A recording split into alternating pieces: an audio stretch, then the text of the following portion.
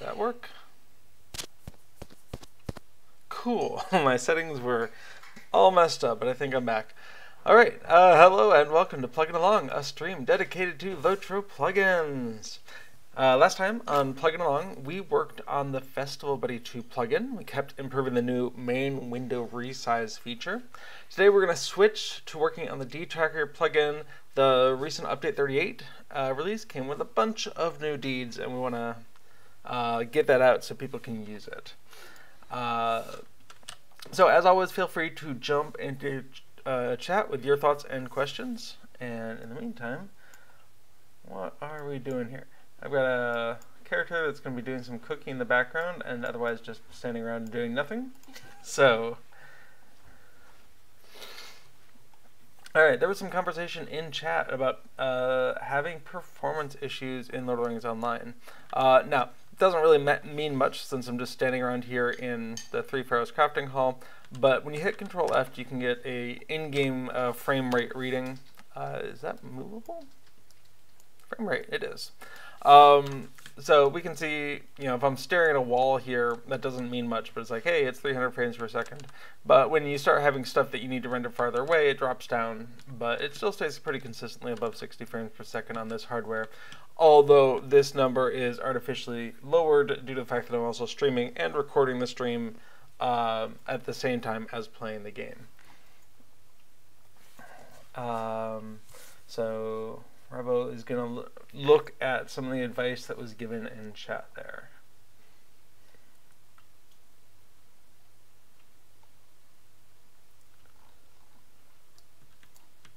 Yeah, I don't have a lot of experience debugging that kind of an issue or, or, digging into that kind of an issue because when we upgraded our hardware, just the issues with the game went away. One thing I will say is that there is I don't know that it works very well, but there is a detect optimal settings button that you can click. Uh, it might be that ultra high is not a good match for your current hardware and software configuration, uh, but high and very high are still very nice to play on as well. So uh, that that could be a thing is to adjust that. All right, Ironfold, how can I power through you? Rye bread.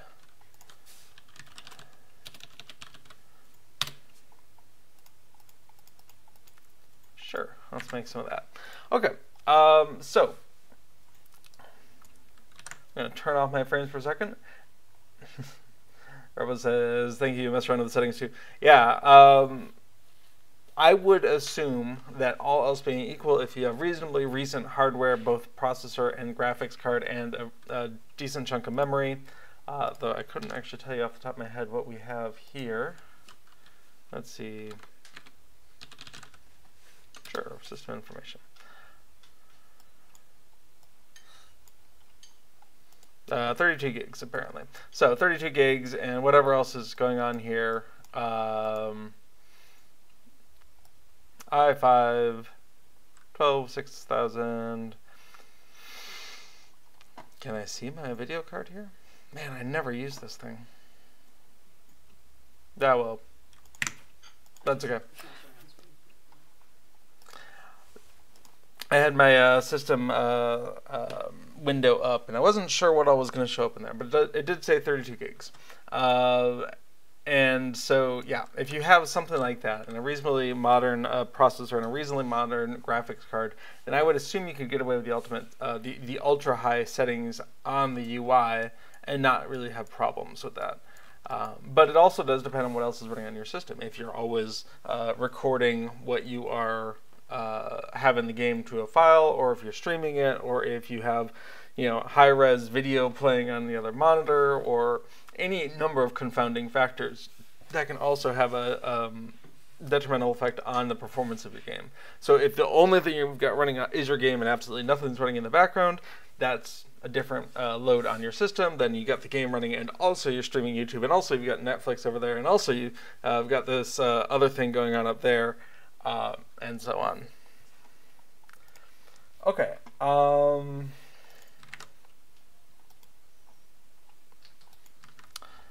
let's pull up some to-do items on Deed Tracker. Now, Deed Tracker, let's get it, this launched here.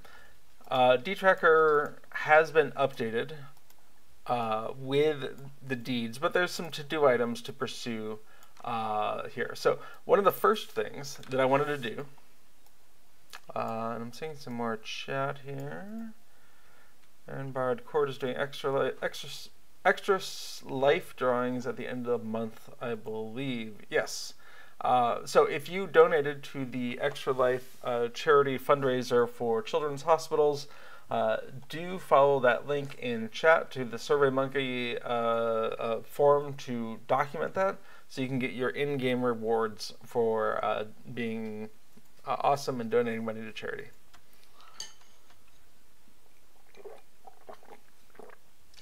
Okay, so in the deed log, um, some uh, big things that came out when they uh, came out with the Haradwaith uh, tab here. They reorganized the tabs. It used to be nine tabs with skirmish instances, hobbies, and the war across the top. Those four. Then Classers Epic, Eriador, Rhovanion, Gondor, and Mordor on the bottom. So four on top, five on the bottom.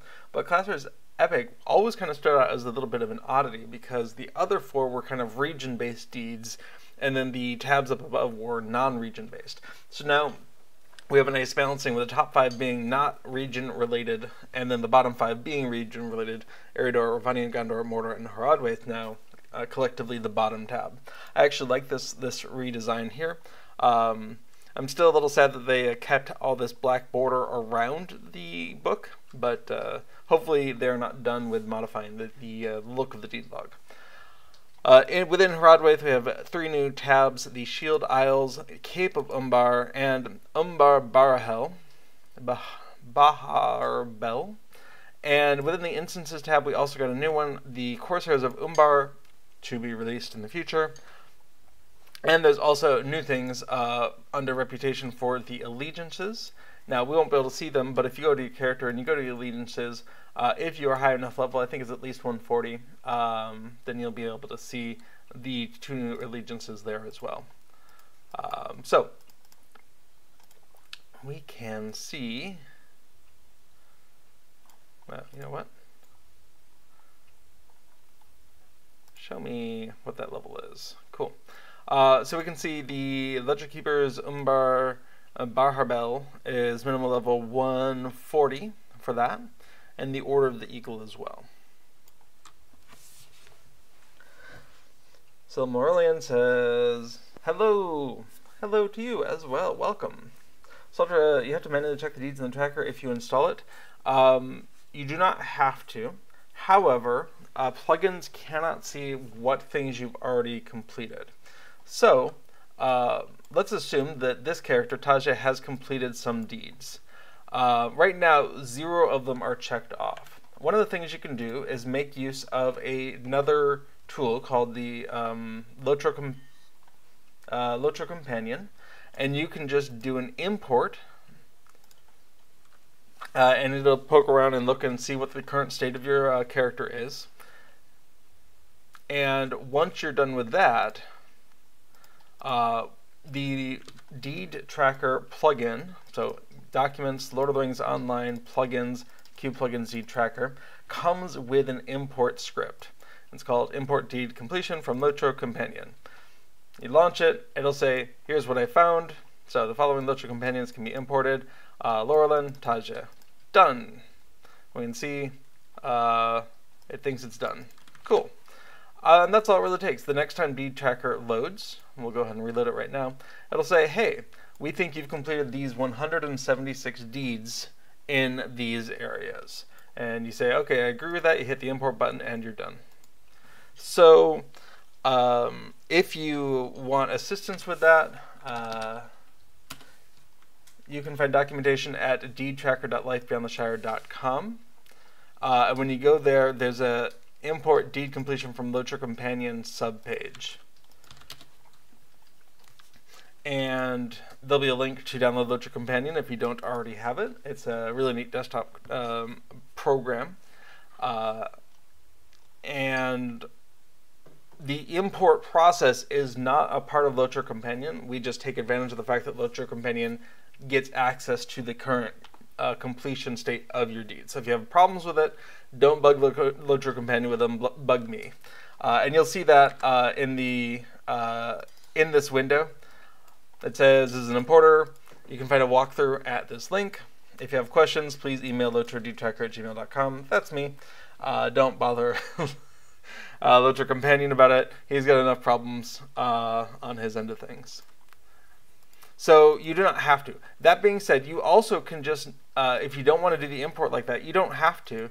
Anytime you complete a deed that requires you to have previously completed other deeds, for instance, let's say the game thinks I completed Explorer of the Trollshaws.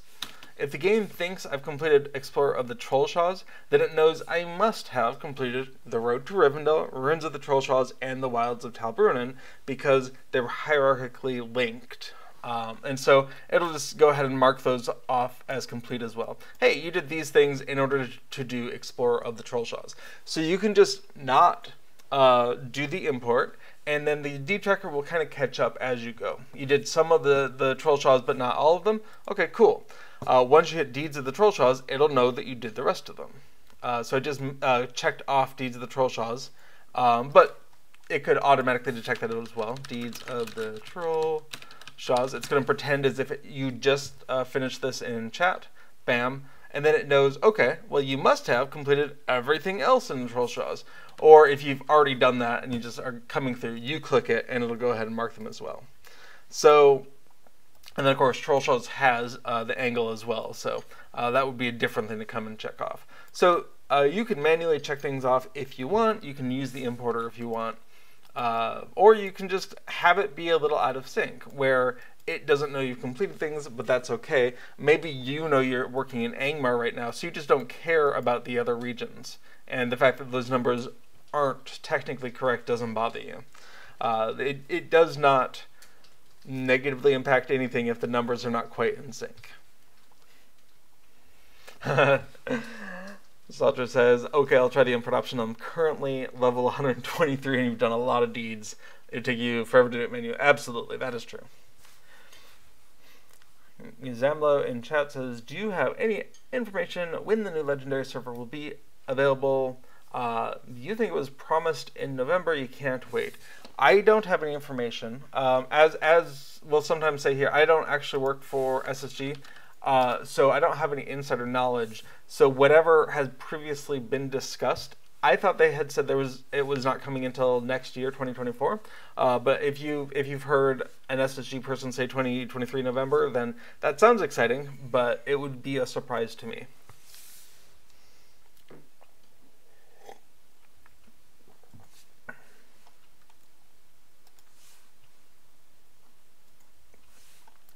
Um, that being said, Treebeard is still going strong. Uh, it is a uh, slow uh, progression legendary server, so every six months, give or take. Um, now, if if that's what you were asking, if the next expansion hits uh, when when that hits Treebeard, that will uh, is currently uh, scheduled for the first week of December ish. Uh, if we do a search for the Lotro schedule 2023, um, on Lotro.com, there is the Lotro public event schedule. Uh, and on here, we can see approximately December 6th, the next expansion hits Treebeard that raises the level cap to 95 and brings the Helm's Deep expansion, including epic battles, I believe. Uh, and so currently, Treebeard is on the Eastern Eastern Rohan. That'll open up Western Rohan and the um, Eaves of Fangorn as well. Or whatever. Wait, do we already have Eaves of Fangorn? It will open up a part of Fangorn. Fangorn Forest. There we go. Yes. So, uh, new stuff is coming to Treebeard in just a couple of weeks. Entwood uh, says there. Awesome. Um, and a brand new legendary server. I believe they have ideas on it, but I think that is going to be um, multiple months out. Okay. Neat. Uh, this uh, Public event schedule is pretty neat. Um, I'm very pleased that it includes uh, the first little bits of what's happening in January uh, as well to give us just a little bit of a uh, insight into the future. Uh, but it's gotten much more fleshed out as they've gotten better at maintaining it. So things like when when the next expansion coming to the legendary servers, a very welcome addition to these. John says, just bought Before the Shadow. Game is crazy. Well, I hope that is in a good sense. Um, I liked the Before the Shadow content uh, and the alternate new character path that you can take. Uh, and the areas of Swanfleet and Cardolan are quite a lot of fun to run around in.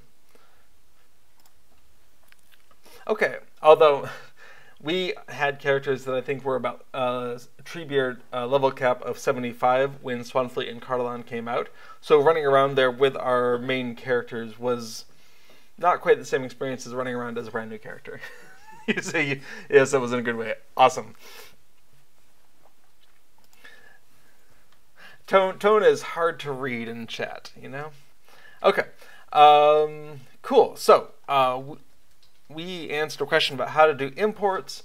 Um, and uh, Saltra, if you have any problems with that, let me know. Um, um, hopefully it will work fine.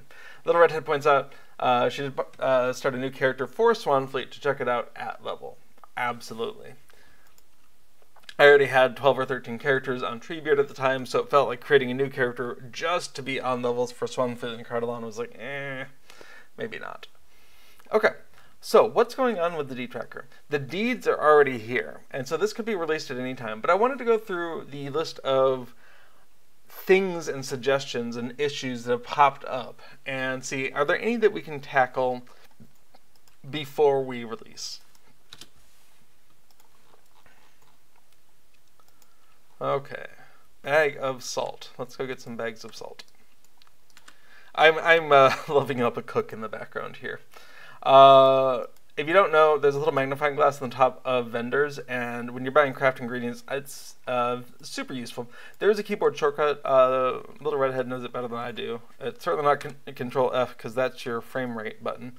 Um, but whatever it is, it's super nice if your thing is not on the first page like that.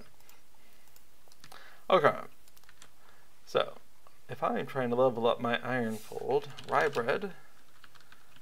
Uh, I just need to make 210 of those. Let's do it. Go, little Tasha. Okay.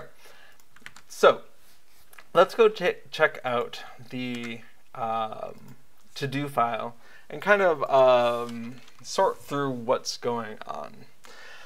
So one of the first things I noticed, uh, we were doing some missions in the uh, Hall of Vernazal, and we got a message saying entered the Gundabad regional uh, channel, and Deed Tracker didn't know what to do with that. So let's go take a look at chat regions and see if there's an obvious uh, to do about that. Oh, before we even get started, we should go look at our working directory and make sure it's reasonably clean uh, so that we can easily undo any mistakes we make during the stream today. So let's pop that open. Uh, we are not worried about Festival Buddy right now. We're not worried about Minstrel Buff right now.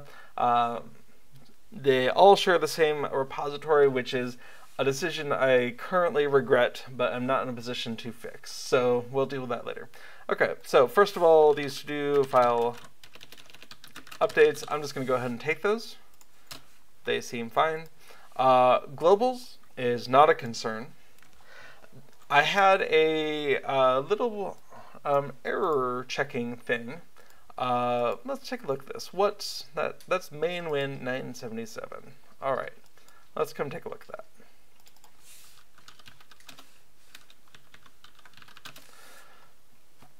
So where are we? Some of these functions get way too long. So refresh deed view we get to a point where we're getting all the deeds on the path. okay error looking up that uh, but we don't stop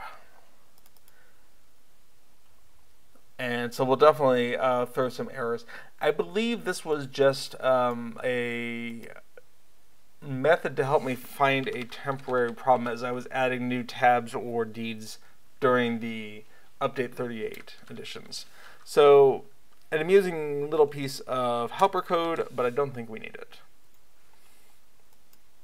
Okay. Uh, and then we had plugin functions 148. Cool.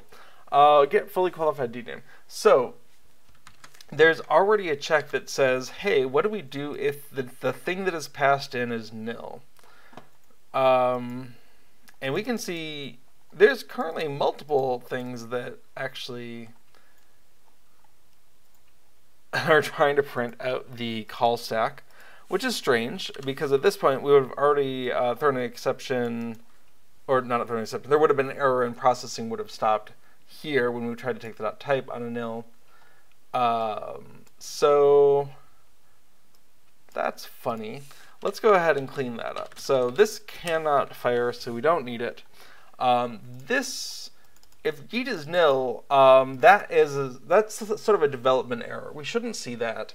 Uh, but when we were in here, we said we called with a nil, we print out the call stack, and then we kept processing. So the next thing we would have done is hit this error message. Um, while I was trying to track down a different problem, I went ahead and said, well, hey, why do we why do we hit that error message? Let's keep going. Let's just return unknown deed.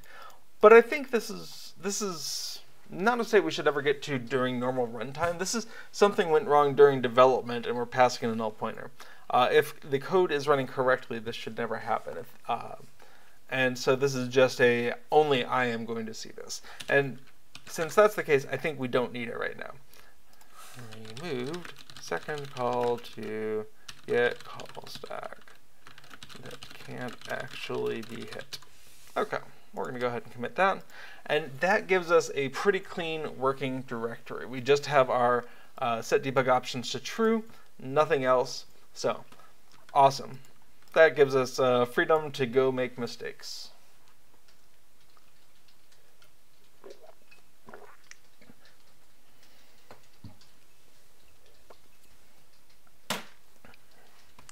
Okay.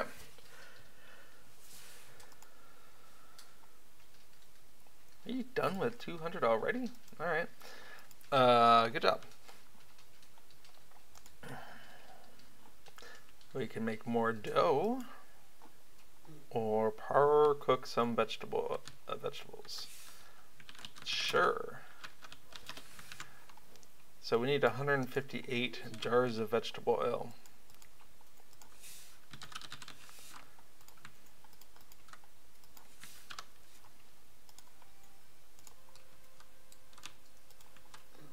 Okay, well, we work on that.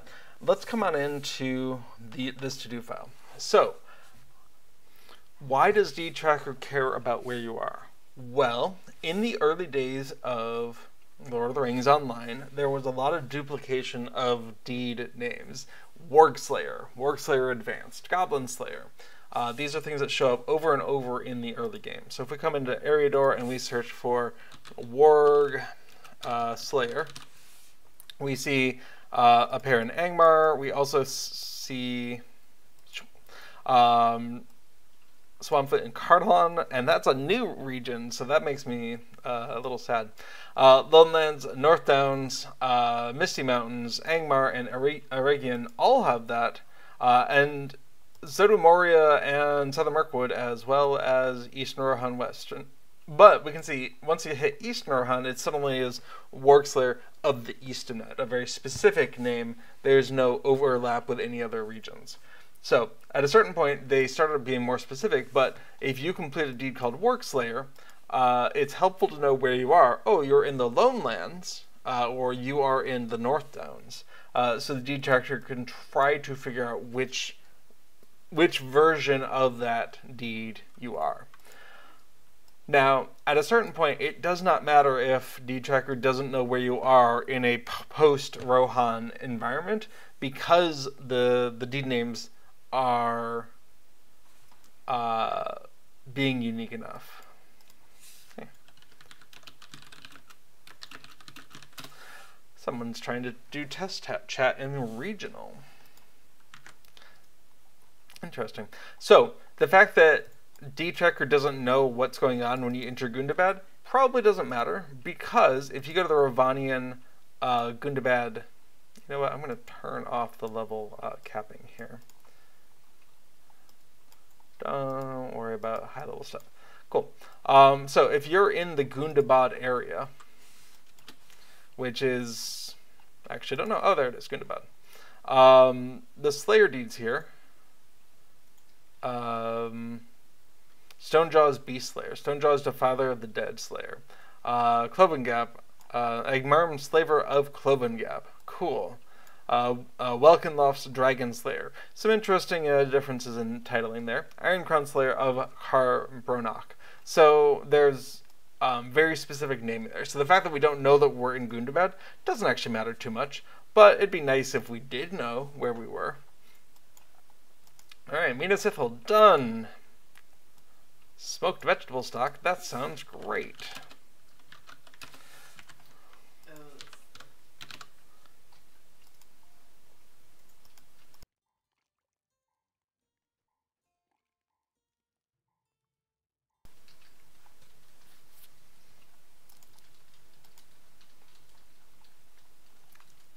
So, let's go look at our region stuff.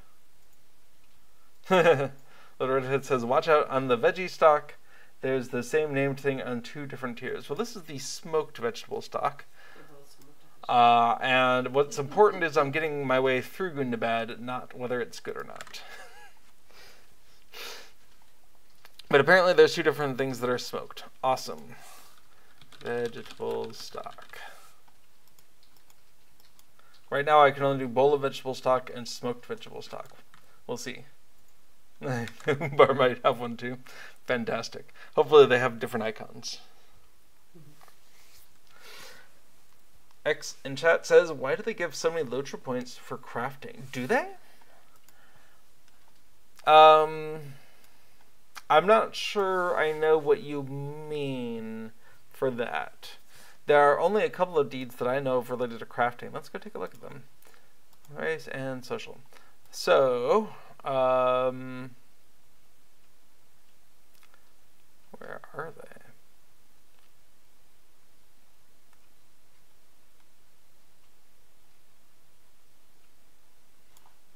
Are they under class? Oh, they are under the class, aren't they? Fantastic. No. Um,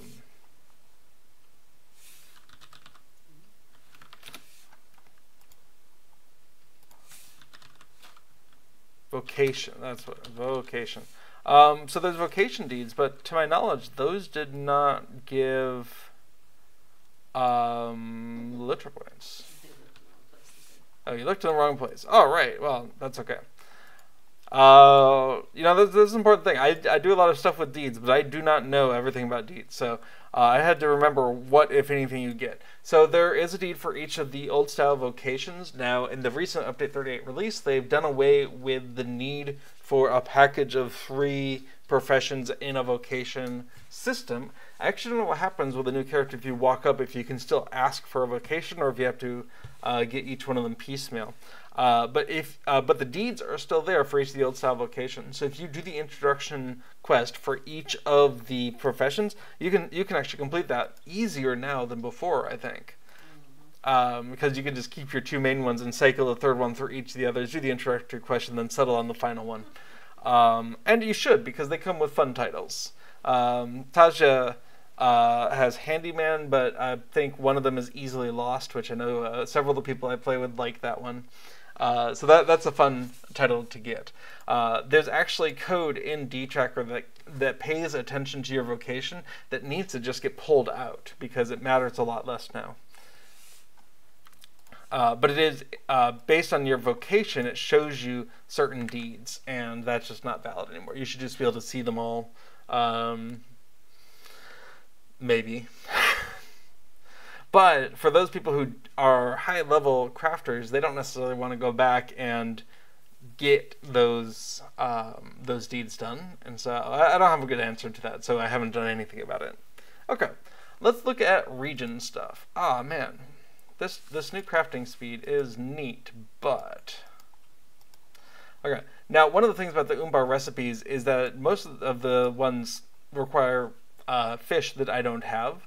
And I assume you have to actually go fish them up in Umbar. I don't know. Uh, I haven't figured that one out. So I'm going to drop back to Westemnet, maybe? Go grab some bottles of water and just do that in the background.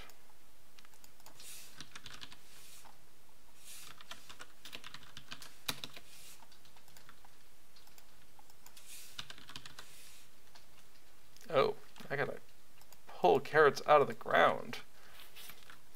Alright, well I think cooking may have reached an impasse, and that's okay.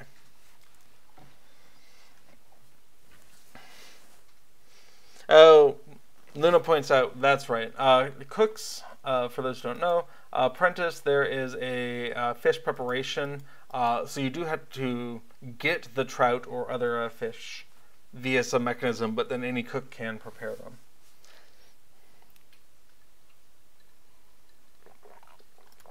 Well, this is a pretty hopping uh, server. I'm guessing.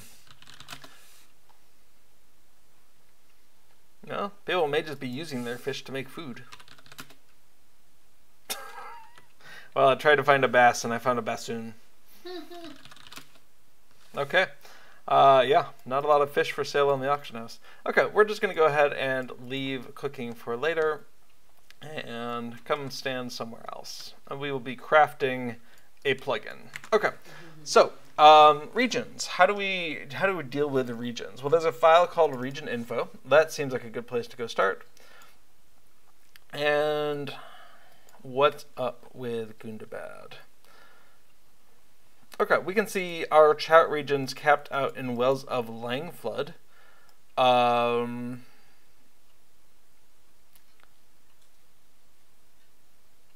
we also have oh Wells of Langflood, which was Elderslade.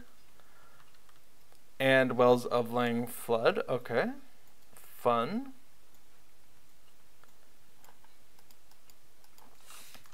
So sure seems like we should have a new region here. Now, did I have a file that I was using to generate these things? I might have. That seems like a thing I might have done. Let's come on into dtracker, source files, region info. Neat. Okay, so Rhovanion.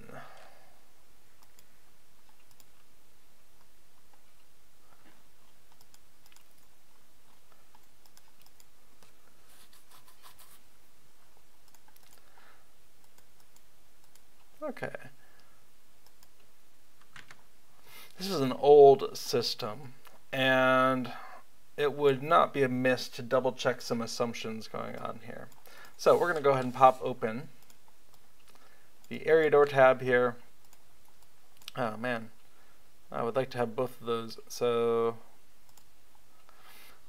Bree-land, Shire, Eredlun, Swanfleet, and Cardolan.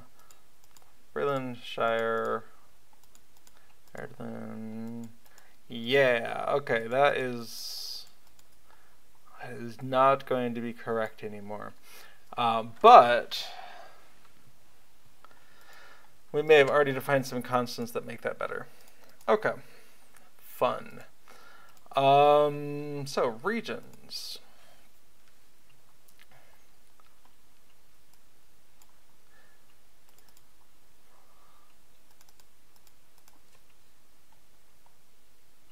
Yes, we do have constants that do that. That's excellent.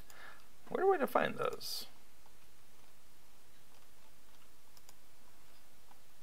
Or did I? No. Okay. So this spreadsheet has gotten out of date, and I should probably make a note to just forget that. Awesome. And we can see here um, these indices do not need to go in any particular order. Great. Okay. Um, so sure would be nice to double check. We have a region Gundabad. Awesome.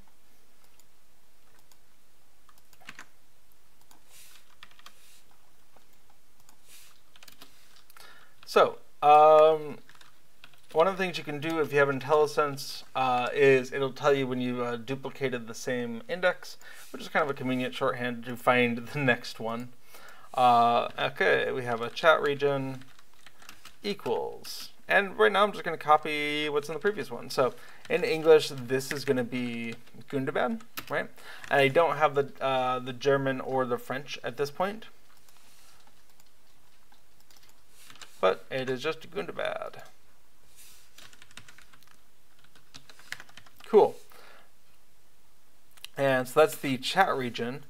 Uh, and that, then we're going to come on into uh, deed regions, and that's going to be its own table. And it looks like we'll just have entries, okay? So the first entry there is its own table. Uh, and so the I is, this is also Rhovanion, and the J is a region of Gundabad. Okay, super easy. So, you know, what is the name of the region and which tab in the D tracker does it correspond to? Uh, and in this case, we're talking about Rhovanion and uh, tab number 1, 2, 3, 4, 5, 6, 7, 8, 9, 10, 11, 12, 13, 14 in the plugin. In Rhovanion, 1, 2, 3, 4, 5, 6, 7, 8, 9, 10, 11, 12, 13, also 14. Great. And in the plugin itself, that is number 14. So we can see some great consistency there. This is probably what that means. Now, um, Tasha is not a member of that, although Tasha could be. Yeah, I'll just log out. We're going to switch over to Affadil, who is um, a member of that allegiance, and then we'll um, see if it worked.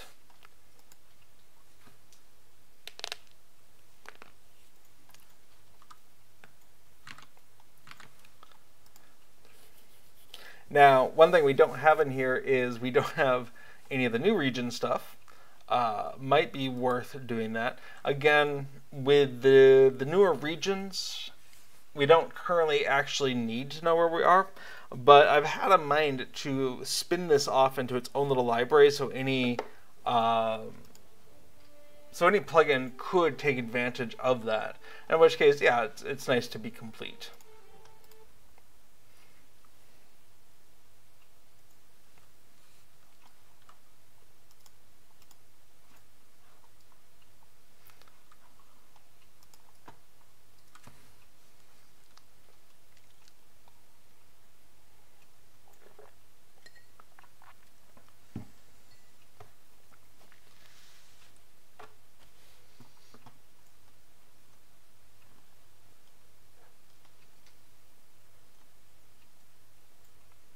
Okay.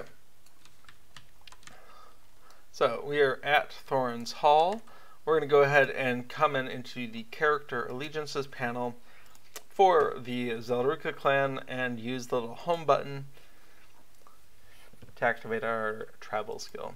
This is actually a really nice travel skill to have because right next to where you come in is the Stable Master for all of the other um, War Three Peaks uh, style missions or that that time. So you don't get the Swanfleet and Cardolan out of here, but uh, this far-ranging Stable Master or Mission Stable Master gives you uh, Nakarfu. It gives you uh, Kraj Zahar, Steep Set, and Trestle Bridge. And having that access to Trestle Bridge especially, very handy.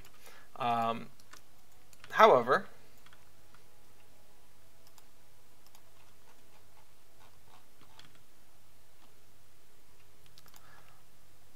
I've just realized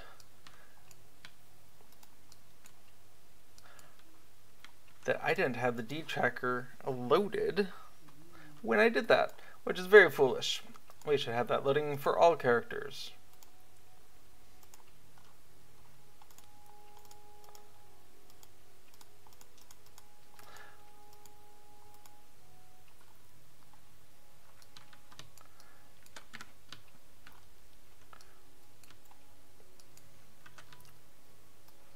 So let's travel somewhere else.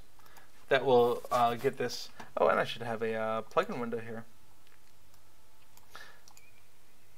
So whenever I make a uh, tab for dealing with plugins, uh, there's two channels specifically that I want. I want the uh, uh, error channel and I want the standard channel.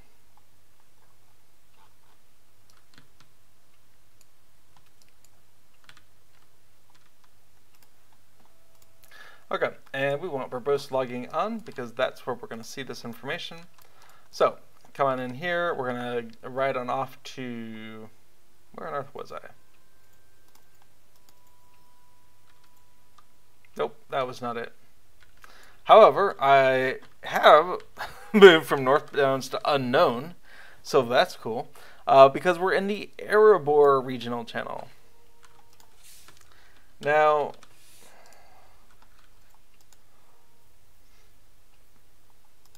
oops.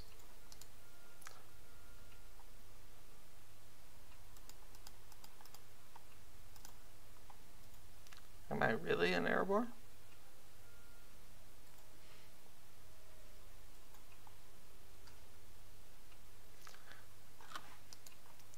Well, you know what? I'm going to save that off also. When entering this place, Akraz Zahar,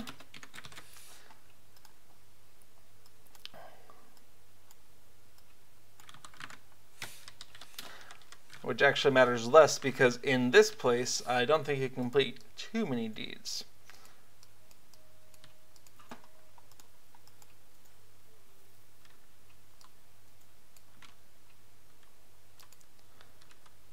Okay. Uh, this was moving to Wells of Langflood. Awesome.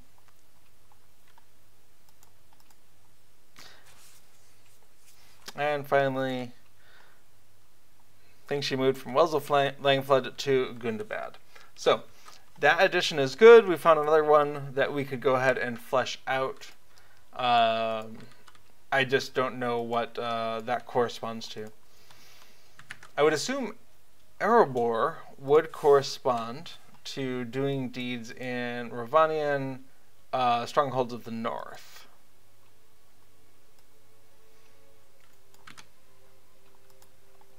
So that seems like a fine thing to do.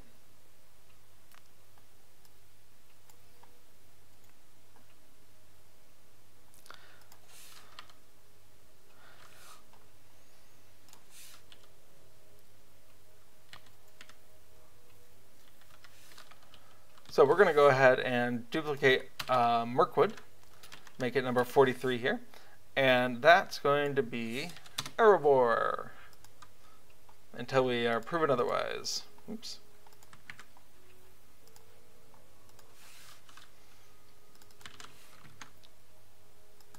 Where'd it go? There it is. Uh, okay, so it's Erebor. We don't have it in German or French yet, so we'll just leave those empty.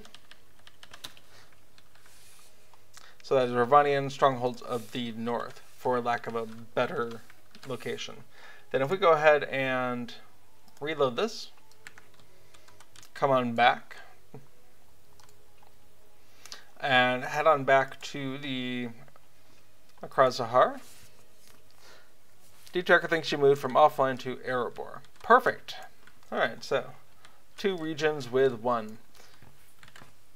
Now, it does raise the question whether I have those translations for those without having to change the client language to French or German.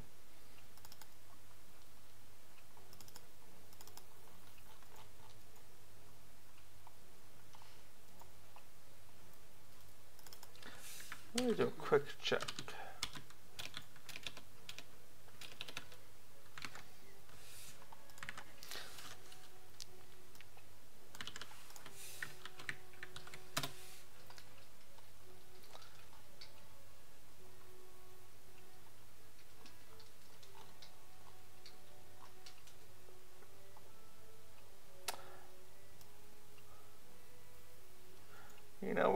I don't think I have it in a way that would be trustworthy. Maybe the parchment maps. That could work. Okay, so in that case, uh, we're looking at Erebor.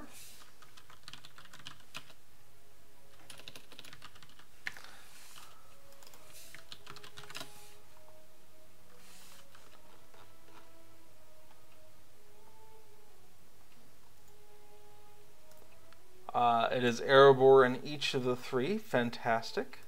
Um, English, French, and German. And the other one was Gundabad. Another great one that should probably not be uh, localized.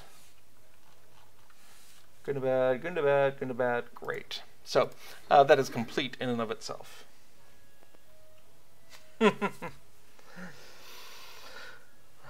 I already uh, asked, so you understand all that there is written in the middle of all that? Um, yes. I mean, I, I know why it is all here. So, um, this is all code that is trying to do a couple things at once. Uh, one of the nice things about Lua, this is the script that this plugin is written in, is that white space usually doesn't matter. So let's go ahead and break apart one of these just for um, expository purposes. So um, we're going to go ahead and add in some indentation. We're going to do it by accidentally deleting a very important character. Okay. Um,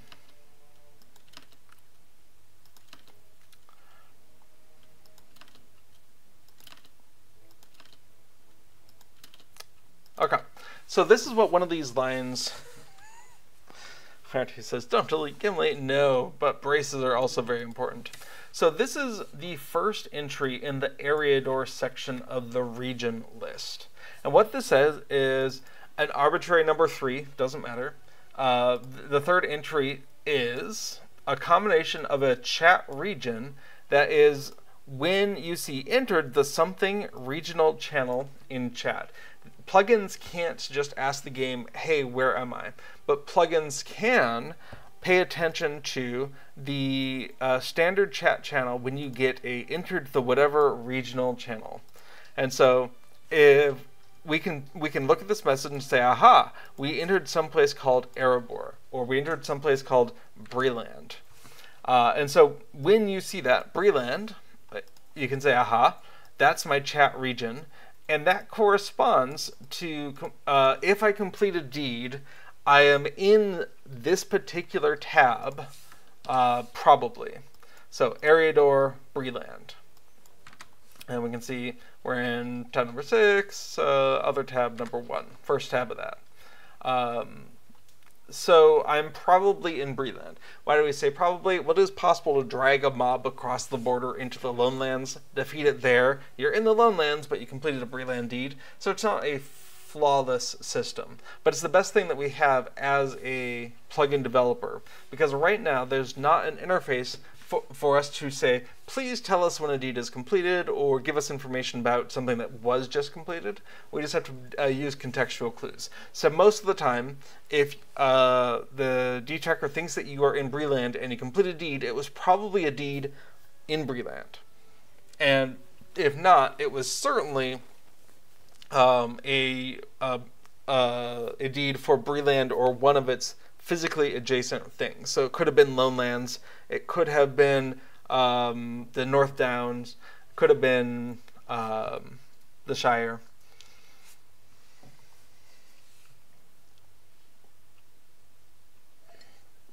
Salter says in chat, thank you for the help on the deed tracker plugin. It worked, the import.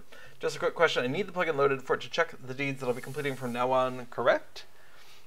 Uh, and so, Salter, the answer is if the deed tracker plugin is loaded, then when you complete deeds, it will automatically check them off and it will uh, record the date time uh, stamp that you completed it at. So, for instance, um, I'm going to simulate completing the old forest. If the deed tracker is running, it'll pop up a message uh, showing you what you just completed. And that can actually be uh, really important uh, because sometimes you will complete multiple deeds at the same time. So, for instance, if I had already uh, completed uh, everything else, oops, um, uh, for Explorer Bree-land except the Old Forest, when you complete the Old Forest, um, you would just see this pop up. But what actually happens is the game will have you complete both of them at the uh, same time. Explorer of Bree-land. Bam. And you'll get a little notification in the bottom right, and you'll click it and say deed completed. But one of the driving factors of making the deed tracker for me was uh, the current interface that the Lotro client gives you, which is the latest, the last deed that you completed. That's the one it has information on. And so what this plugin, one of the things I wanted to do was have a historical record of, oh, you just completed like three deeds. Here's what they are. Here's here's what's going on. And so if you complete Explorer of the Bree-land uh, of Bree-land because you just uh, completed the Old Forest, then Deed Tracker is going to show you that as well. Uh, and it's a cascade thing, right? So uh, if um, at if at the point that you complete it, you are actually about to complete uh, everything in the Deeds of Bree-land. Um, let's see, we'll go ahead and get rid of those two things. Deeds of Bree-land. Then, if you complete the Old Forest, which completes Explorer of Bree-land, which completes Deeds of Bree-land, Deed Tracker is going to present that to you in a way that um, you don't uh, miss that you just completed a deed. Now, all this information is in your general chat tab. Uh, you'll, well, any any of your tabs that has the quest channel uh, checked. Uh, internally, where is it? There it is. Internally, quest and deeds uh, are me mechanistically the same, so that their output goes to the same place. Um, so any any of your tabs that has that, it'll show you completed this, completed this, completed this. But if you're using your general chat channel uh, for tracking that kind of thing, it can scroll off really fast. Um, so Tracker will do that if it's running. If it's not running, um, and you don't mind your date timestamps being off a little bit, you can just redo the import that you just did every week, every month, whatever, and just catch dtracker up. If for whatever reason you don't want dtracker running, don't run it. it it's okay. dtracker will, uh, if it is running, it'll it'll track these things, but there is a slight performance cost to having dtracker running. It takes uh, a fair amount of memory to be able to have a lookup table for every deed name in the game, just in case you just completed one of them. Um, and that's actually an interesting optimization question. I don't think it's no, I don't think it would work. So, um, so we load every possible deed name into memory uh, to compare it against when you complete something that is, yeah, and we only get to know that you completed something with both either a quest or a deed, so we don't know which. So we have to check it every time. These these come with a small, not huge, but small performance penalty. So if you need every last frame of your uh, of your game to be going to doing other things, leave Deed checker off. Load it once in a while. Do the import process. It'll be fine. But if you want uh, up to up to date information and you don't want to have to think about it, or you want this pop up that tells you what you just completed uh, or you want to be able to search for deeds, or you want to take advantage of the location information in the advanced uh, prototype tooltips. So let's turn on the experimental ones. Um, so, oh, I need the Waypoint plugin for that to work. Let's go ahead and install the Waypoint plugin. Waypoint plugin is great. If you don't already have the Waypoint plugin, I highly recommend it as a very simple way to navigate. So we're going to go ahead and add in the Waypoint plugin. Great. Okay, so when you have the waypoint plugin uh, added, any uh, deed objective that has coordinates uh, will then have a little arrow next to it where you can just go ahead and click that, and then that will tell your waypoint uh, plugin if it is loaded. Gotta gotta load it. Uh, it'll go ahead and tell it that's the destination I want to go to, uh, and so uh, it'll guide you the best it can towards that. Now you do have to be basically in the same region for the coordinate system work because the coordinate system is not um, unique across the entirety of Middle Earth. Zelda says, memory, you mean RAM. Uh, yeah, in this case, I do mean that. Yeah, so um, there's very little harm to having plugins just running all the time. Depending on your hardware setup, you you might see a little bit of a performance improvement in not having them running all the time. So yeah, load it load it whenever you want uh, access to things like oh where is Tom Bombadil's house? Cool, I'm going to click this. I'm going to get uh, the waypoint, which is going to be able to, to give me a bearing and distance to where I'm trying to get to. Awesome. Uh, very handy when you're trying to hunt down flowers in the old forest, for instance. Um, so there's benefits to having it loaded, but it's not mandatory. Okay. Uh, already uh, commenting on the code, so you do understand all that's written. Your brain can't fathom all of this. Well, uh, it does take some practice, definitely.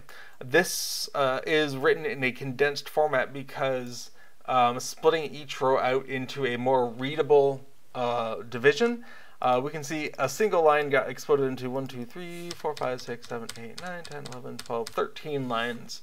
Uh, and so for a table of 50 entries, you can see how it would suddenly be a 500 uh, line uh, to do. So one of the neat things about using source control is we can come on into the region info and say get rid of that part, but keep the rest of it. And the changes we made there to make it more readable, gone. Okay, so we have an Erebor, we have a Gundabad, great. Added error, ah.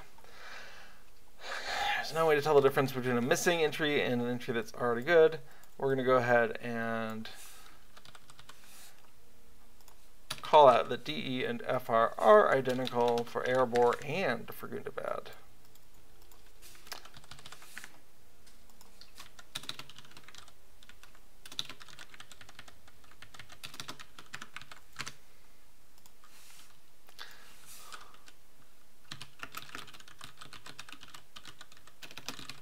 Okay. Uh, added those uh, chat regions. Done. Um, and we're going to go ahead and get rid of those. Awesome. Fun. So that's how we go ahead and add a region. Again, less important when the deeds are uniquely named, but even nowadays, as we saw, um, Stone Games, careful though they are, is not above accidentally adding the same named thing. We saw, uh, what was it? The um, the something uh, vegetable stock. Hey, little one. I have a cat next to me. Smoked. Smoked vegetable stock. There's currently two of those in the game, and I'm sure one of those is going to get renamed. Hey, you're in camera. Uh, but until then, hey, you want a little thing? Is that why you're here? There you go.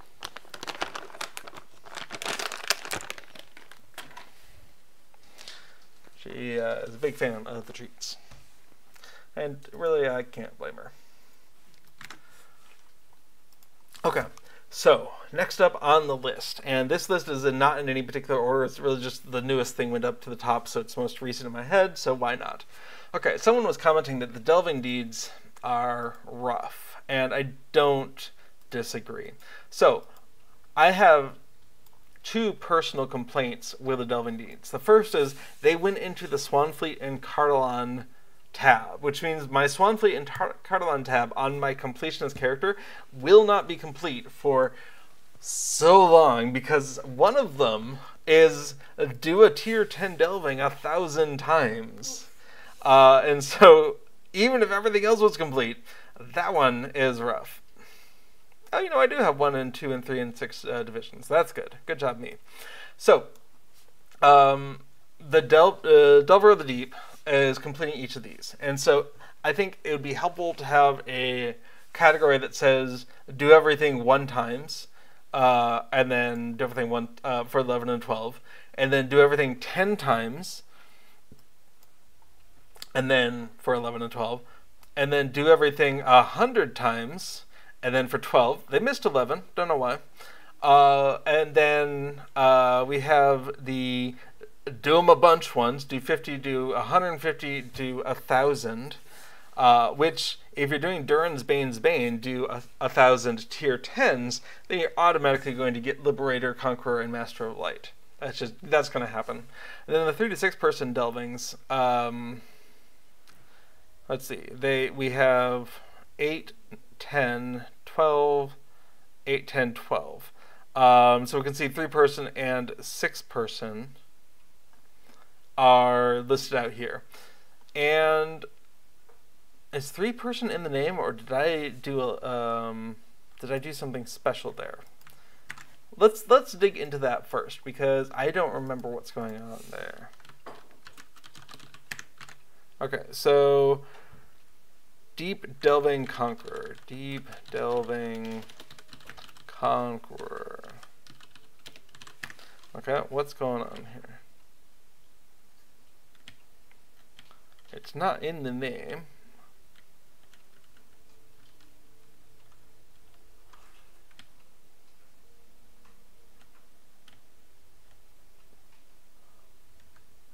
Fascinating. Let's find out more.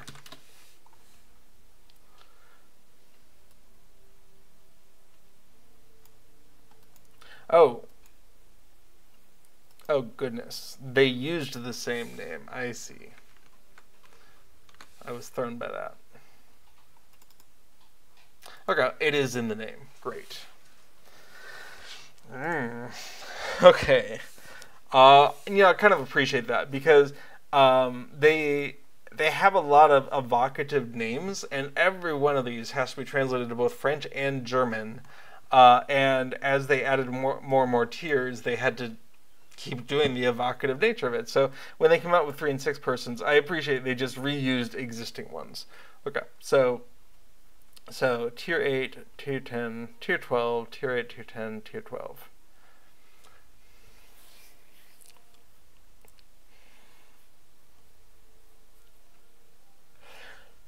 Okay, so two things that it would be nice to have. It'd be nice to have an annotation style thing so that we can arbitrarily say, hey, when you display this deed, slap a tier 1 on the end of it in parentheses, just like this three person, um, so that we can decorate the deed.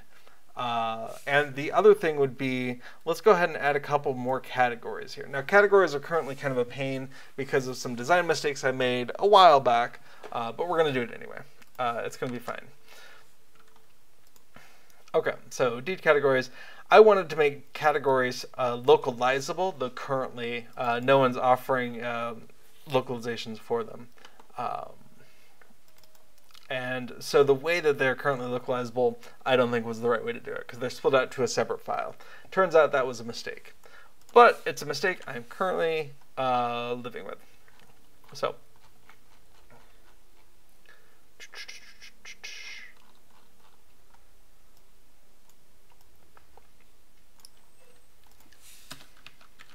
Okay, so we already have a 292, so we're doing a 293. Great. Um, tier is something.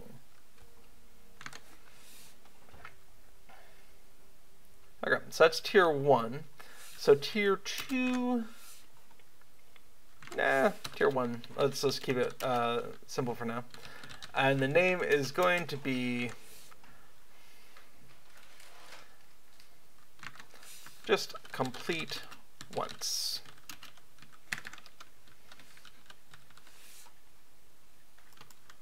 Okay. Uh, we're to have a different one for complete uh, 10 times. Uh, we're to have another one for completing uh, 100 times.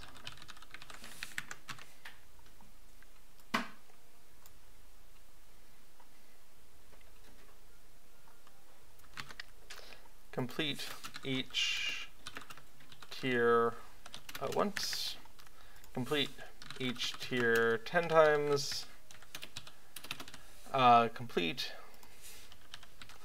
each tier 100 times. Hopefully uh, these labels can get that long. Um, we'll also have one for complete any tier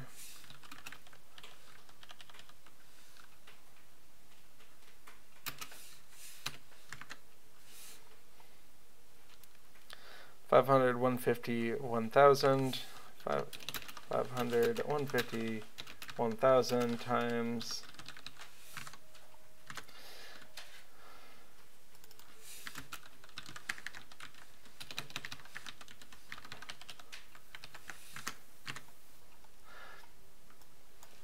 and Durin's Bane's Bane is just, it stands out, it's its own thing.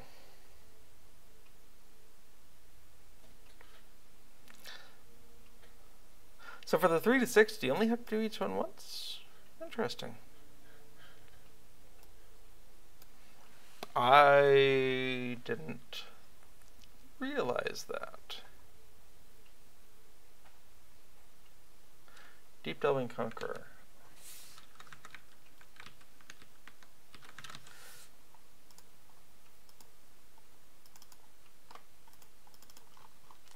Let's go take a look at that. Deep Delving Conqueror. Three person.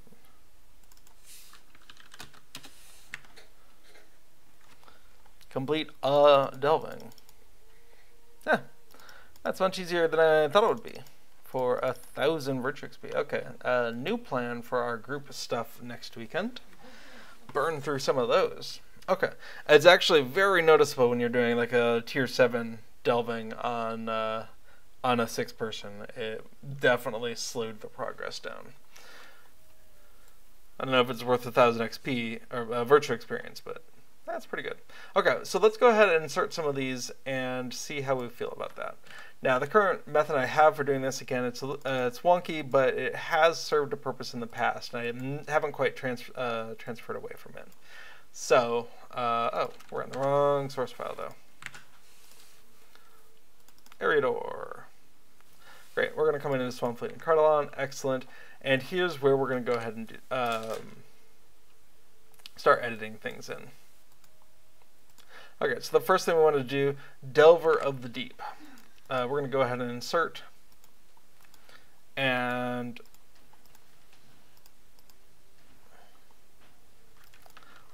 we were going to say complete one, uh, each tier one time.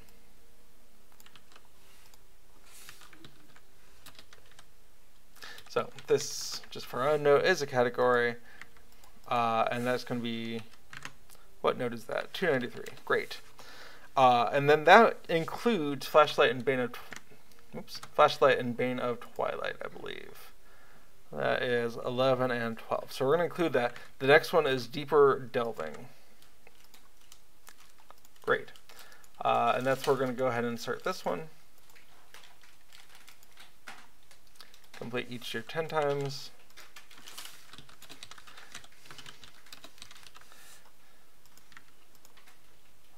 And we know this is 294.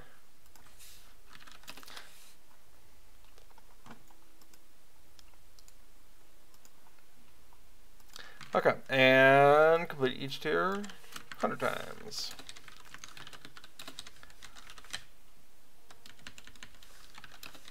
Great. So, uh, just doing that,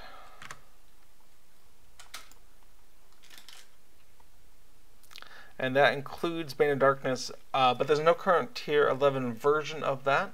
Uh, so the next one is Master of Light. I will insert the last one there. Nope. Okay, so this is going to be complete any tier. We'll just call it many times.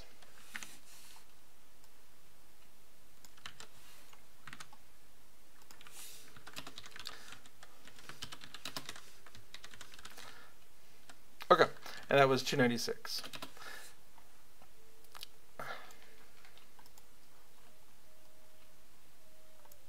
Okay, so we're going to go ahead and fix these formulae so that works. Again, this is an old system that I was using to generate the Lua for these things. So this isn't necessarily a good solution, but um, I'm reluctant to navigate away from it without like a solid plan in place. I just don't have that right now. Uh, so we're going to come on into Deep Info and replace Swanfleet and Cardolan with this new content.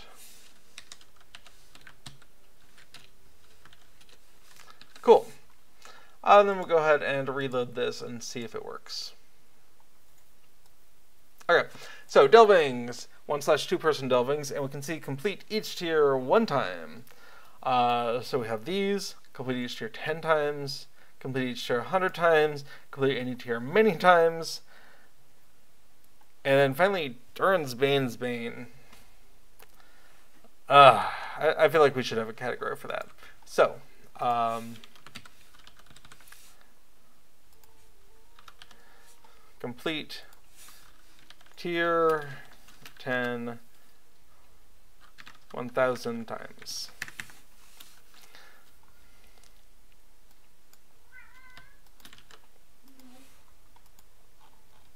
So we're going to come on in, uh, and this is just for Durin's Bane's Bane. and add in one more category. 297.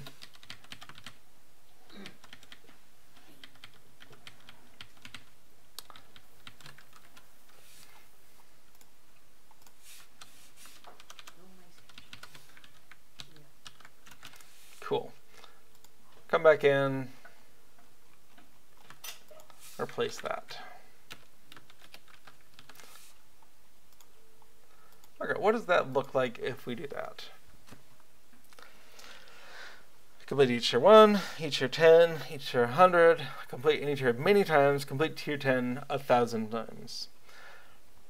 And then the 3 to 6 person delvings, which is just complete once, apparently. And for that, I think we could just modify the category. Uh, so 3 to 6 um, uh, complete each once.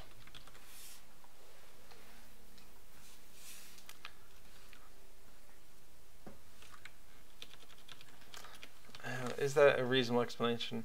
What do we have? We have 8, 10, and 12 complete tiers 8, 10, and 12 once. 3 once each. I don't know. Let's take a look at that.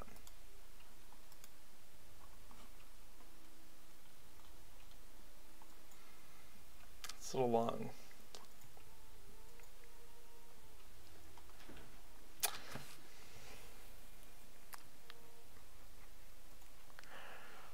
Sure, we'll go with that. Uh, and then we'll add in uh, default categorizations for German and French.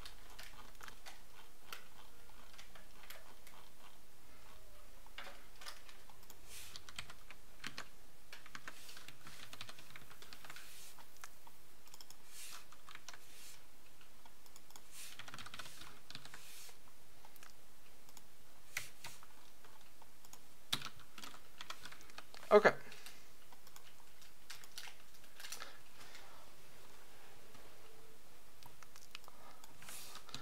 Alright, I'm going to inflict a quick little screenshot on the person who was wondering about that.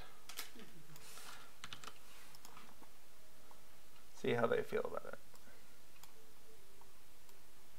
Who was that? Oh, Krell, probably.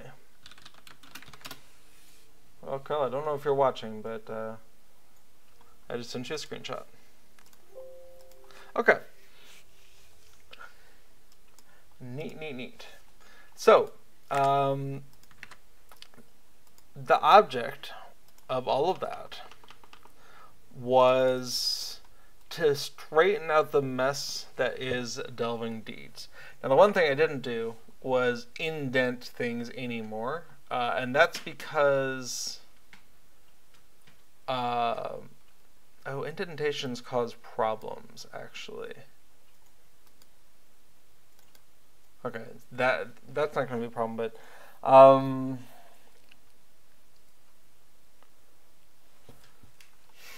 I almost feel like indenting these was wrong but uh, it'll be fine.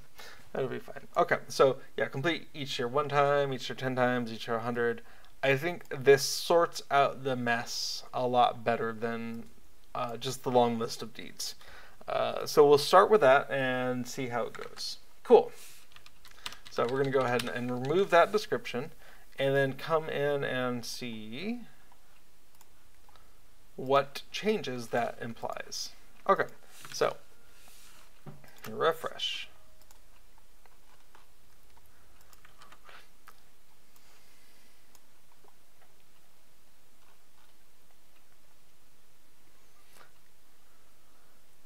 Okay, that all looks good there.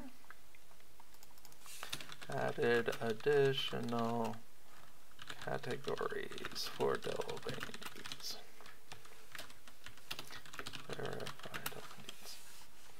Okay, so that's the structure. We also have the categories themselves, updates that spreadsheet, and removing of the entry in the to-do file. Done! Nice.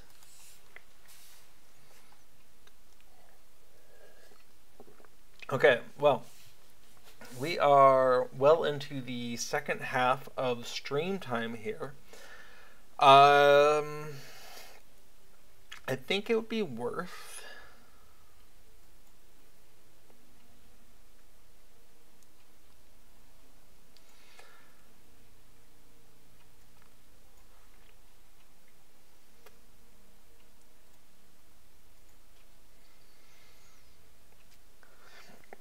I think it'd be worth cleaning up the things I thought were Valar uh, associated deeds, but didn't actually happen when I did a 140 Valar. So I don't know what their purpose is. Um, but for instance, when we look at the Lonelands. Hmm?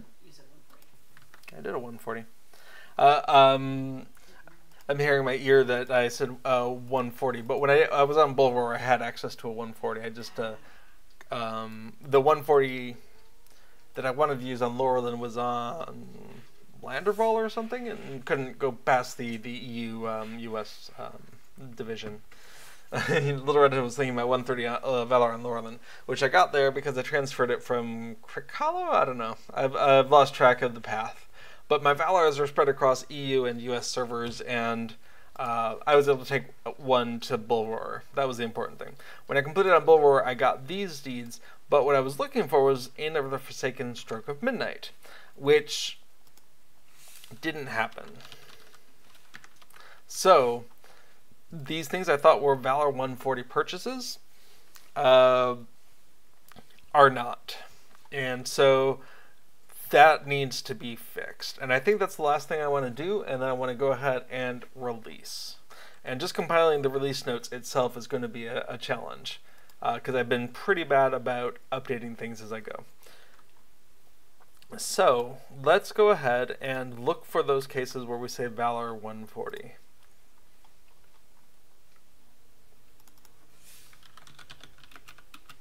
So that's category 286.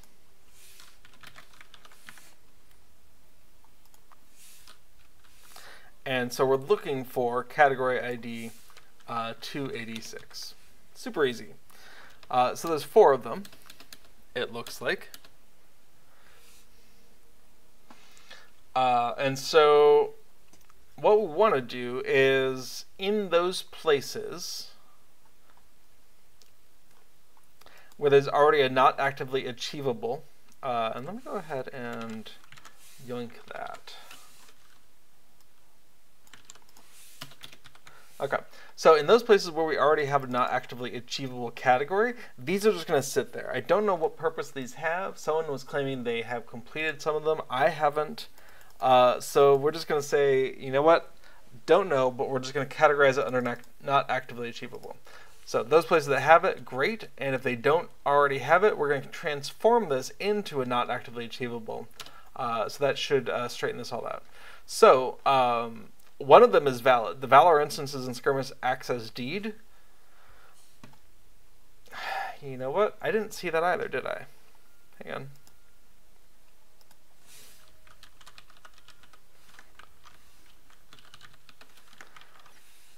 That didn't happen either. So I don't know what it is. Um, so we're going to put that under not actively, actively either. Okay, so first of all,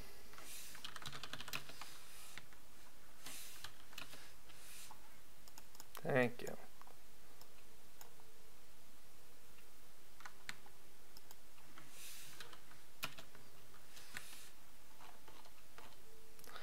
Okay. Um, so we're in not actively available.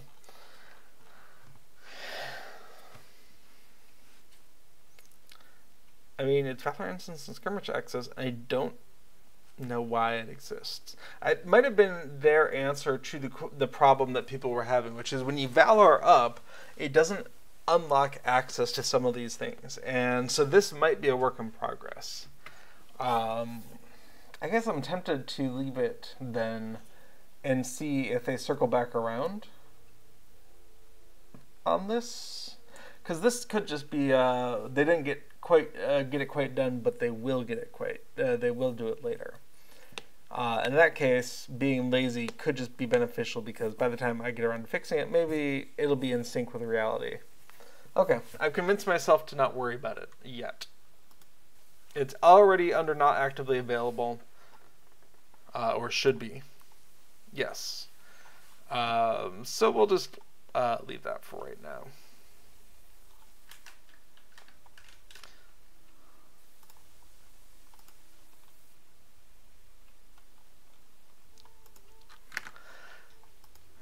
There's a bunch more not actively available things uh, like uh, version uh, instances of class seeds that uh, could be could be brought in to the uh, the Deed Tracker. So there's there's a whole bunch of uh, extra things there.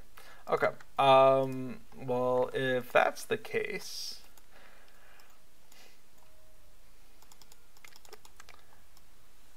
I do think it'd be interesting to have the plugin be able to catch a character rename.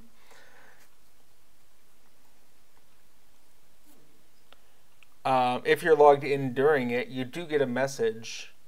Uh, I, I, noticed this when I did a rename over here on Laurelin. You will now be known as Blah, and that first chunk could reliably be a name, but then it comes into other questions of other things you can do with your name, uh, like can't. Yeah, I don't, I don't even know. Um,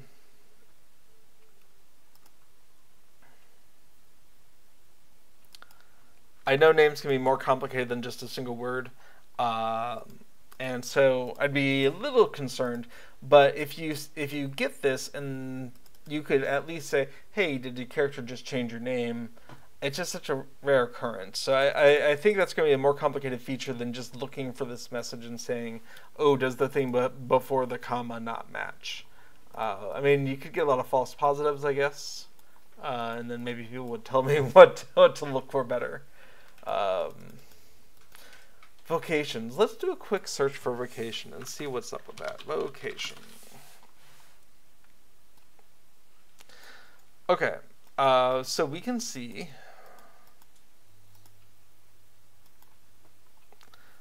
Uh, actually, let's just search, make sure that we're searching for the whole word and not like invocation. We don't want that. Um,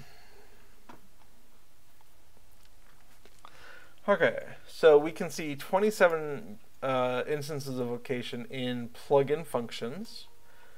Uh, for instance, get vocation name from a vocation. Do we even get a vocation nowadays? Okay, I'm curious.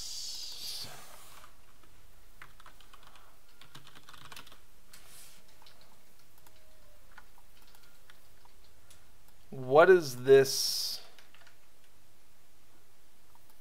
come back to nowadays? Now, this character has a vocation. No, this vocation doesn't. That's definitely not a vocation. Okay, I'm curious what uh, what that comes back as. So we're just going to stick this into main. Doesn't even matter. turbine.shell.writeLine current vocation uh, and we're going to dump the results of this call.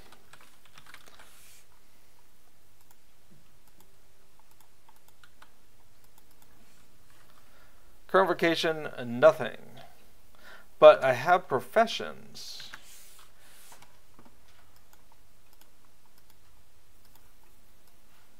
And I assume that we might not have a way to get them. That's interesting.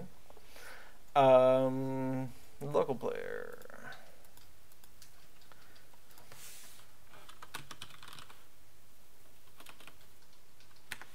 What am I calling that on? Get attributes. Okay. Local player get attributes.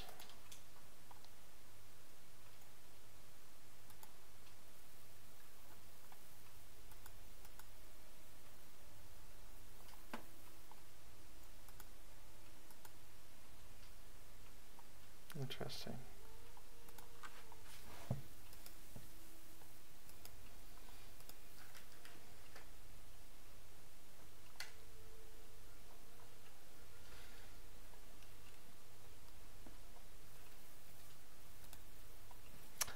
does get vocation come from, do we think?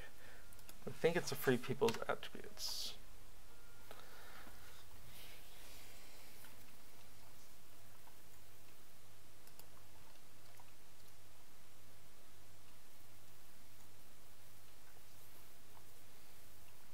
Okay, so there is a get profession info specked out in this. And that returns profession. What is profession? We don't know. Uh, okay, well let's dump out the results to that. Oh, that, oh, we need a profession. Okay, let's see what happens when we ask for the first one. Nil. Okay.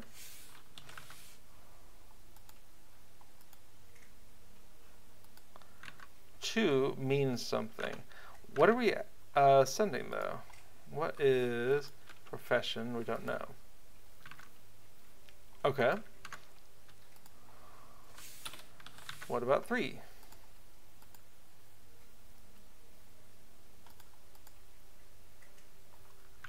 Three get something. Four? No. Okay. So currently 2 and 3 uh, return something.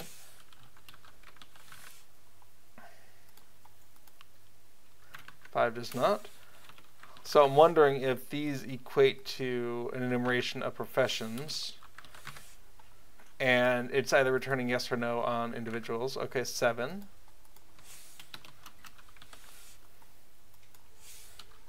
How many professions are there anywhere? 8 went back to nil. Okay, so profession. Awesome. 1, 2, 3, 4, 5, 6, 7, 8, 9, 10. I'm going to go to the other uh, spec on the wiki. And this is under Turbine Gameplay. And this is Profession. So we can see I got hits on two Forester, three Scholar, and seven Prospector. That's all correct. So if the information for this character for a given profession is not nil, then that seems to be trained. Awesome. So we have a way. That's neat. And then profession info, you can actually get a lot of information about a profession. Um, oh, that's interesting. So for uh, i equals 1 to, what was this, 10? Okay, 10, do. Um, and so if we go ahead and say local info equals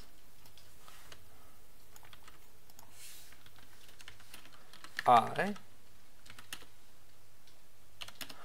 Uh, if info is not nil then profession trained and we'll go ahead and just uh, put out the name of this thing. So info uh, get name.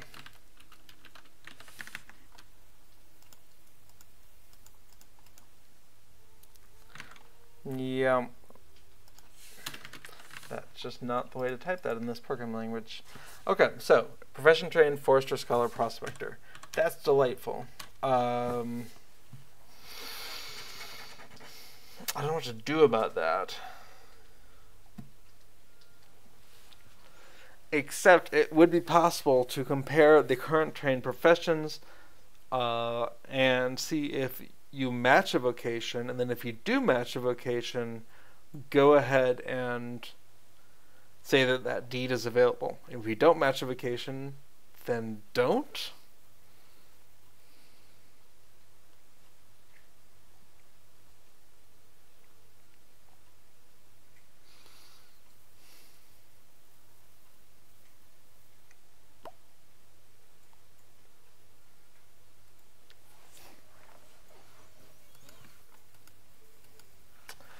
I think that is a non-trivial problem to solve.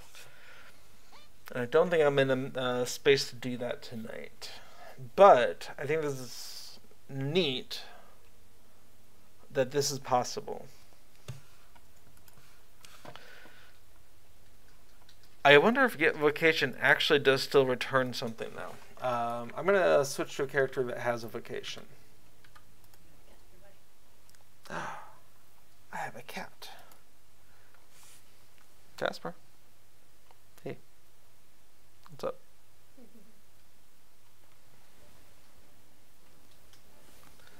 Okay. Um, we're going to switch on over to Tasha, who does have a profession.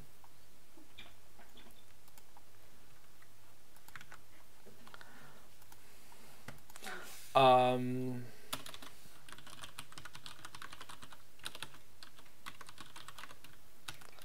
you checking for a mouse? Mm-hmm. Alright, so this is my car, get attributes, get vocation. Okay, I was having a little trouble switching earlier, but it seems to be resolved. Uh, and we can see vocation is zero.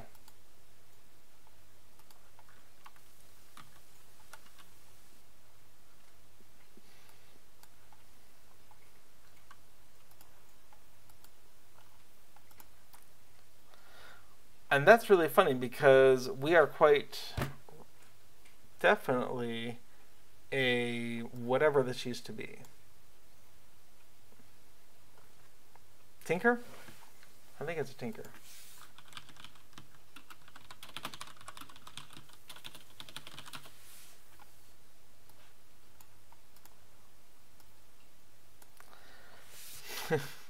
To update 38, this page is now obsolete. Absolutely, it is. Jeweler, Prospector, Cook.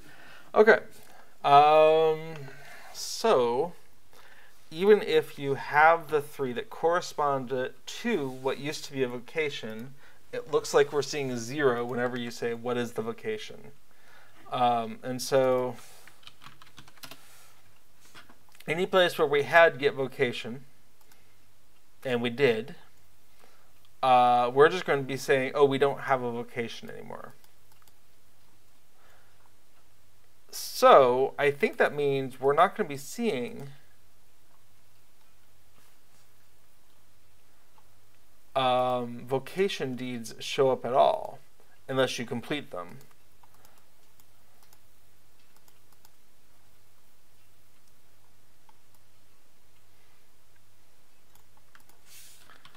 So vocation. Yeah, they won't show up at all. And that's I'm not sure I like that. But modifying them just be not actively available, that doesn't feel right either. They're more available than ever. Kind of. But they will show up if you complete them. But right now, they're in a super hidden state, which I'm not a fan of. So, what? Do vocation deeds, do those count as not actively available? Do those... Where would we want them? I mean, they are actively available, that's the thing. But it used to be only one of them was available, zero or one of them. So I just gave you credit for it if you did it, but otherwise it was hidden. And I would like the deeds to become unhidden given that they are available, but not in a way that counts. And that's what the not actively available is for. Yeah. Okay. I have ideas. Let's let's document what we learned. Current uh, current status of API. All calls to whatever that was. And what is my car?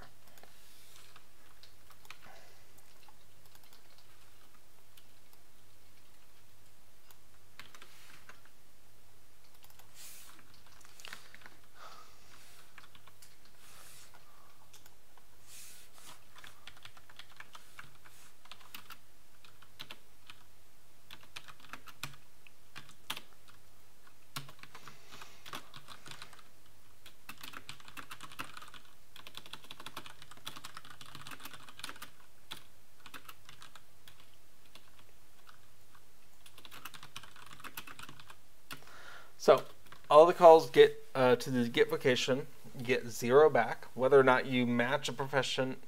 Sorry, whether your profession's match vocation or not, that call seems dead.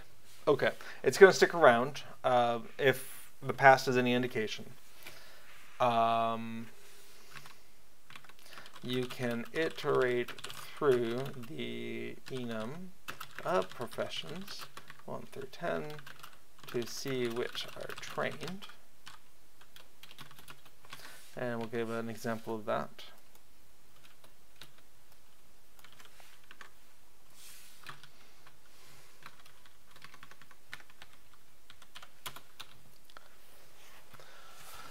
Um, all vocation deeds should probably be visible and not included in deed count. Not actively available. Um, but I think I'm not concerned about doing anything uh, before this release goes out because the default behavior is just going to be show you what deeds are completed and hide them otherwise. And I'm not a fan of hiding deeds that are achievable uh, if you want.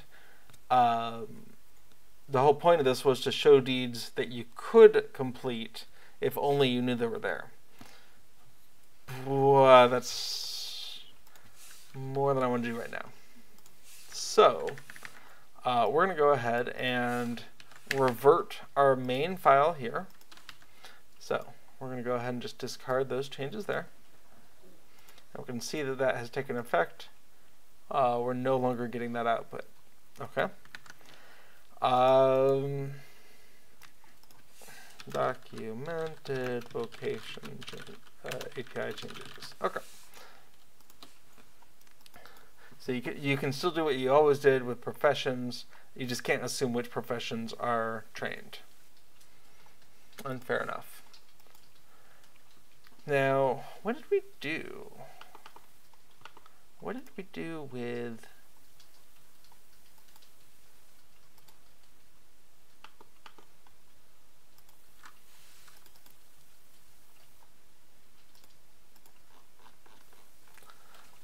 So for vocation deeds, we had the subtype equals something. So that means we were probably checking it.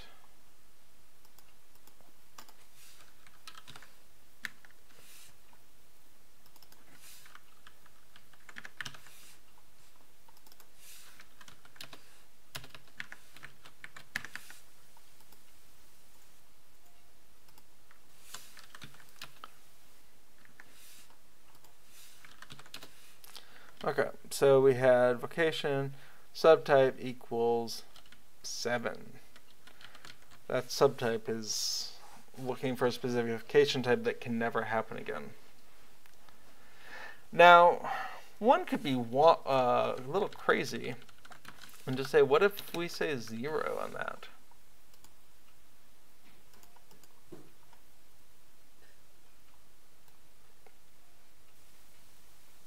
And then suddenly they are visible because that matches your vocation.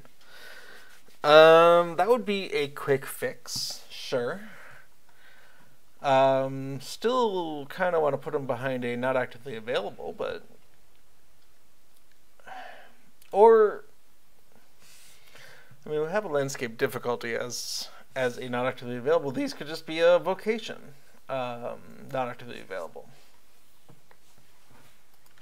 So like if these had a, make that bigger. Um,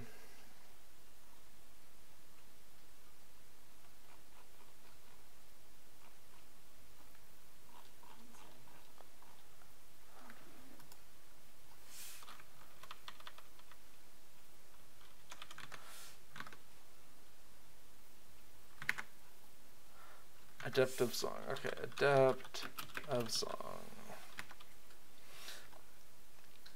So that's not available equals 6. So if we said not available equals 6, we would see that as landscape difficulty. So if we had a new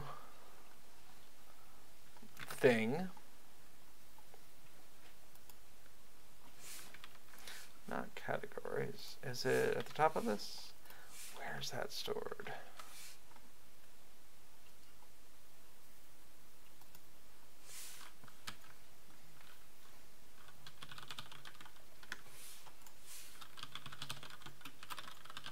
There it is.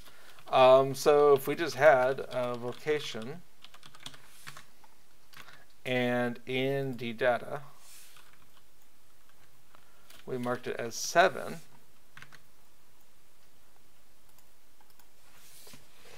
would that work?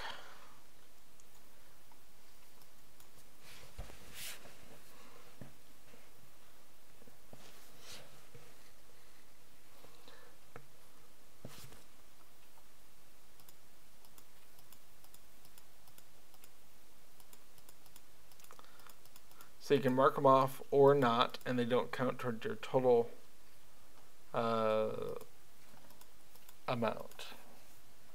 Nifty. Also, Delphing's instructions should probably be server cap if you don't already have it. I wonder how they do that in the data files.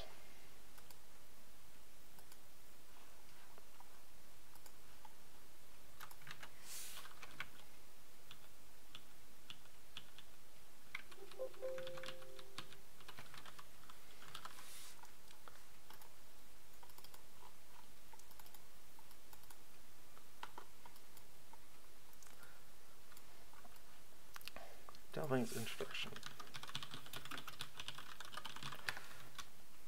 Min level 50. That's funny. Hmm.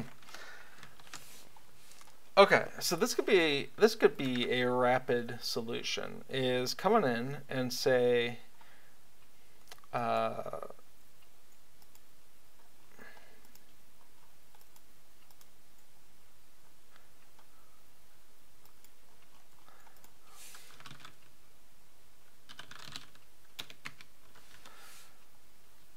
Let's uh, link up, uh, sync up our not actively available lookup table. We can do that. So it's uh, we should have unknown. We should have obsolete. Limited time only. It's number three. Yep. Four is time gated. Five requires purchase. Six landscape difficulty.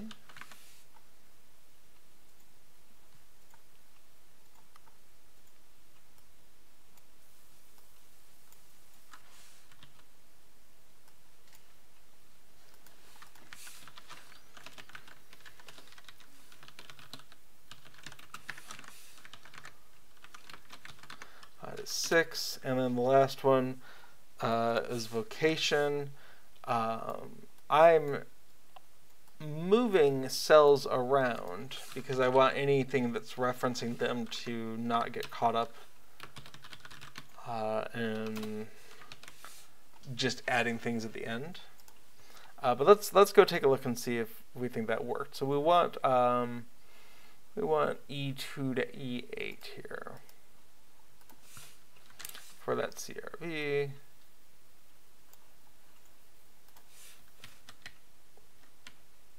Oh, actually, for the, we want it to be not actually available. Oh, is that even present here? Mm. How do we do these?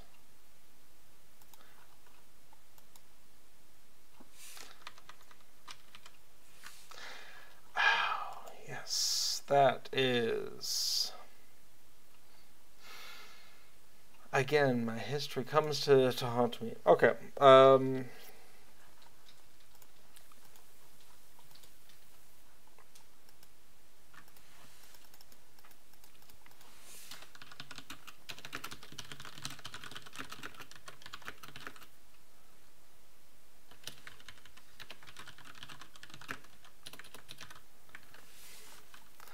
let's come in and at least persist this bit.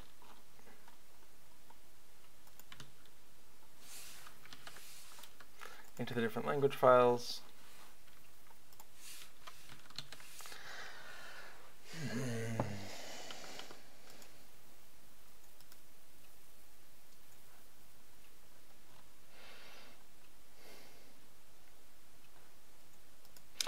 The problem is these ddata files are generated, and the thing that is generating them needs to be made aware of this. So we're gonna Okay, we're going to document what we want to do. Okay, so change the subtype to zero and mark each as NA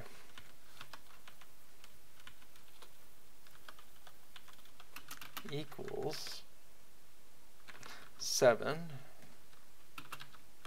vocation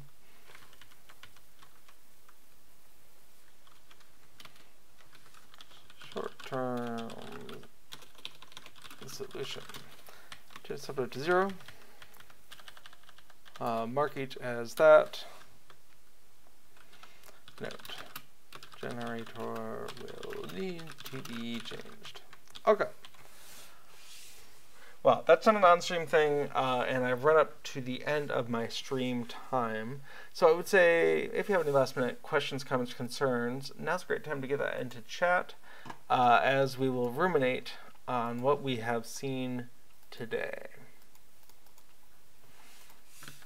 Added vocation to the info strings. So we're going to go ahead and add that. Um, we're not going to commit this yet. That's going to be, it's going to be a little bit longer added plan for vocation deeds. Okay.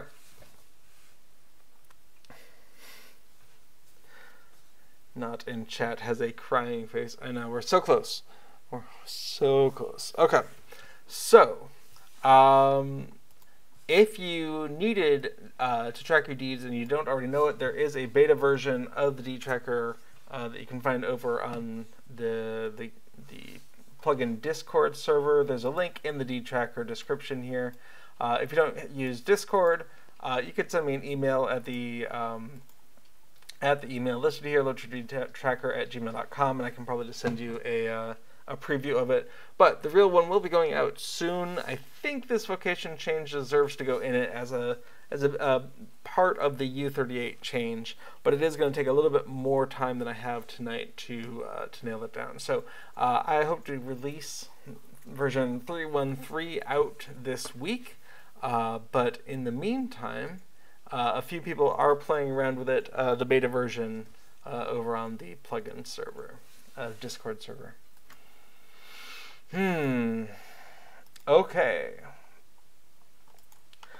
Well, I think there was some good progress made there. Not quite as much as I was hoping, but it uh, always seems to be the way.